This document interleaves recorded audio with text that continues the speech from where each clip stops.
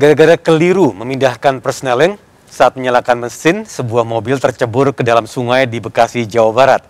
Karena arus sungai yang deras, mobil terseret hingga 700 meter. Mobil baru berhenti setelah tertahan penahan bambu yang dibuat warga. Oh, mobilnya no.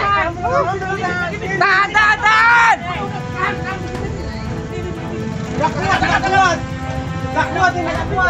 Dalam rekaman video amatir di tengah guyuran hujan, sejumlah warga berusaha menghentikan mobil yang hanyut dan terseret arus sungai di belakang perumahan Bekasi Timur Regensi 5, Bantar Gebang, Kota Bekasi, Jawa Barat, Rabu sore. Namun karena derasnya arus sungai, mobil tidak bisa dihentikan dan terhanyut hingga ratusan meter. Mobil baru berhenti setelah tertahan batang kayu dan bambu yang dipasang warga. Namun meski mobil tidak lagi terseret arus sungai, hingga Rabu malam warga tidak bisa mengevakuasi mobil dari dalam sungai karena kondisi sungai yang curam dan sempit. Agar mobil tidak kembali hanyut, warga mengikat badan mobil dengan tambang.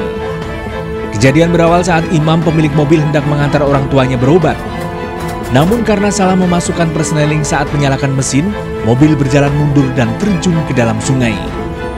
Beruntung orang tua pemilik mobil belum sempat naik ke dalam mobil. Sementara pemilik mobil selamat setelah berhasil keluar dari dalam mobil saat mobil akan terjebur ke dalam sungai. sama anak-anak ditahan supaya nyangkut langsung pakai spret kaca mobil samping dipecahin supaya biar masuk.